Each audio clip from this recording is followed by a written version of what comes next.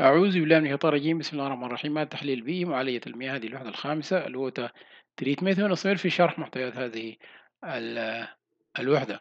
معالجة مياه البحر water desalination لها مراحل آه، معينة حوالي أربع مراحل. ضخ ونقل مياه البحر إلى محطة التحلية. إذا المرحلة الأولى هي مسألة ضخ ونقل المياه. المرحلة الثانية معالجة فيزيائية.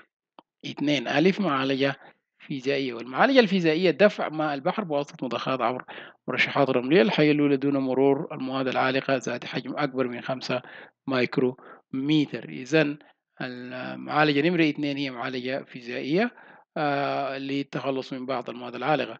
آه النمرة اثنين باء أو ممكن نقول نمرة ثلاثة على حسب التصنيف آه معالجة كيميائية وفي المعالجة الكيميائية إضافة كلور وحمض الكبريتيك للتعقيم وضبط الحمضية قبل مرحلة التناضح العكسي والتناضح العكسي زي ما قلنا هو ال reverse osmosis reverse osmosis وهو أحد الطرق التي تستخدم لتحلية مياه البحر. آه، نمرة ثلاثة التناضح العكسي آه، أحد الطرق التي تستخدم في معالجة مياه البحر لتعريفه للحصول على ماء محلى أي ماء تحلية.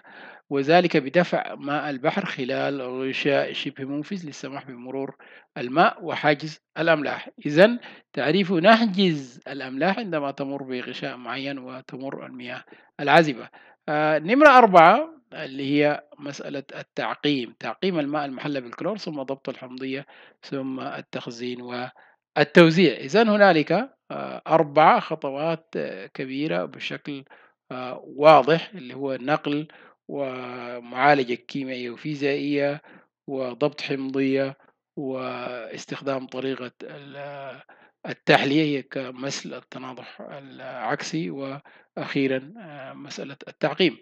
هنا في الرسم نرى بشكل واضح أنه نقل مياه البحر وتجميعها هنا وإضافة كلور وذلك للتعقيم. وهنا نضخها لضبط الحمضية أيضا وهنا نلاحظ الرمل هنا المعالجة الفيزيائية وهذه تعتبر المعالجة بعدها الكيميائية ونزيل الكلور وبعد ذلك تدخل مرحلة طريقة معالجة مياه البحر أو طرق التحلية ويسمى بالريفيرس اسموزيس أو التناضح العكسي.